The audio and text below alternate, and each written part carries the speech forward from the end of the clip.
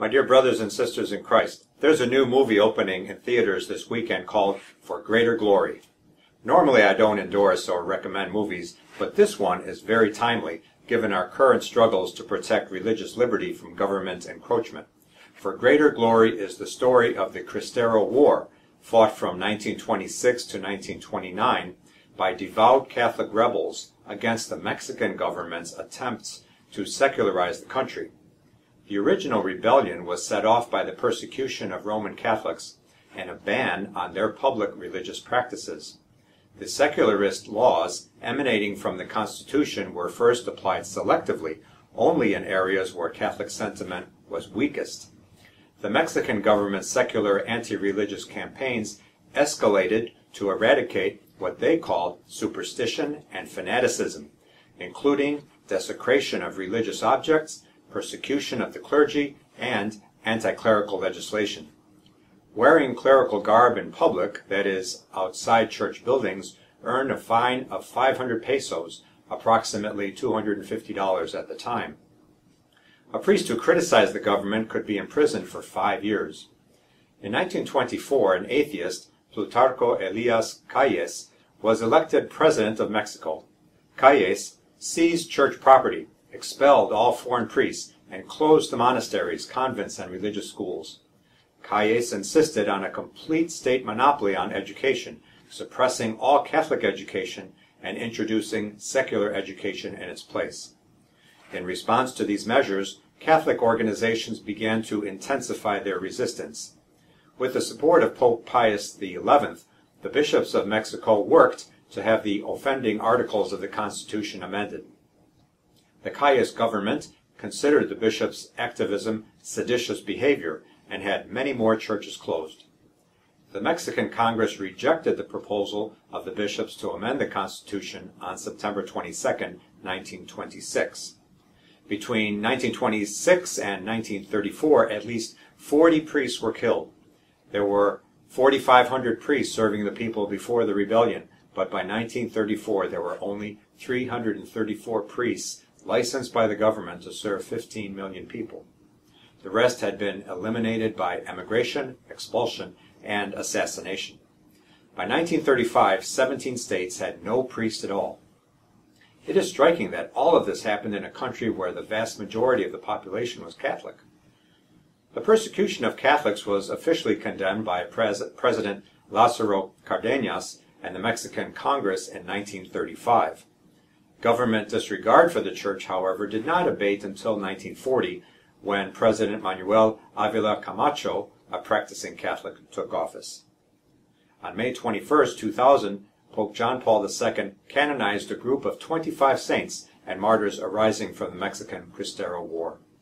The vast majority are Roman Catholic priests who were executed for carrying out their ministry despite the anti-clerical laws of President Calles.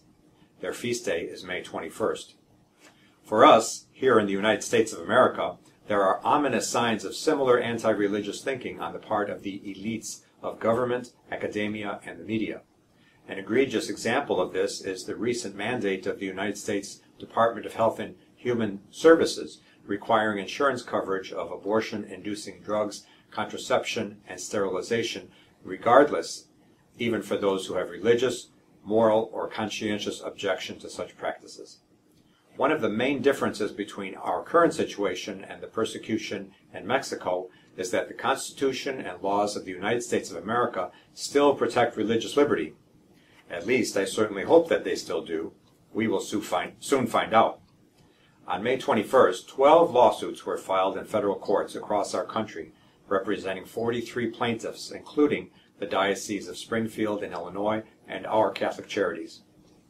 This lawsuit is an unprecedented attack by the federal government on one of America's most cherished freedoms, the freedom to practice one's religion without government interference. It is not about whether people have access to certain services. It is about whether the government may force religious institutions and individuals to facilitate and fund services which violate their religious beliefs.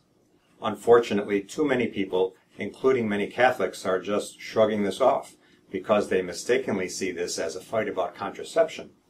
A March study by the Public Religion Research Institute found that most American Catholics are generally supportive of the government's mandate. 57% of Catholics and 56% of Americans in general reject the idea that religious liberty is under siege in the U.S. So how can I light a fire under you? Perhaps you don't care about contraception despite the Church's teaching. But consider this. The 1965 contraception decision of the U.S. Supreme Court, Griswold versus Connecticut, provided the legal rationale for abortion on demand just eight years later in Roe versus Wade. If the HHS mandate is allowed to stand, I guarantee that it will not take eight years for some politicians to begin calling for the government to require Catholic hospitals to provide abortions. When that happens, Catholics will demand that bishops do something about that. But it will be too late if Catholic voters do not start to make their voices heard now. You can do so by contacting the White House at www.whitehouse.gov/contact. This summer, the United States Conference of Catholic Bishops, USCCB, will conduct a Fortnight for Freedom beginning on June 21st, the vigil of the feasts of St. Thomas More and St. John Fisher, and culminating on July 4th, Independence Day.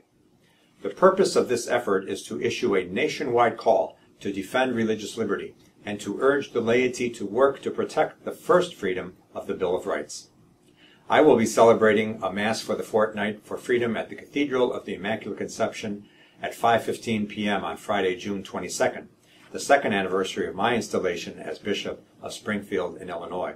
All are welcome and priests are invited to concelebrate. I pray that our efforts to protect religious liberty will be successful. May God give us this grace. Amen.